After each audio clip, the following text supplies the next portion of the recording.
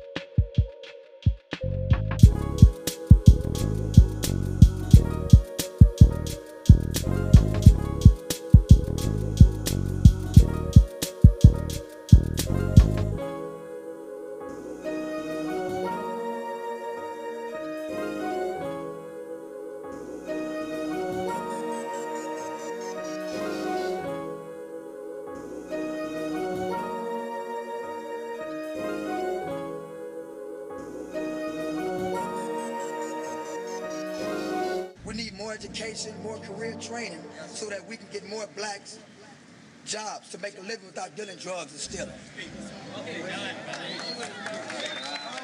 We need, we need more teachers who are patient, reliable, hard workers, and who are willing to take out the time to spend with the kids that's ready to learn in the community. We got youngsters out here you think is wild and crazy. Them youngsters just as smart as all of us. I'm saying we all is one in the body coming from the Lord.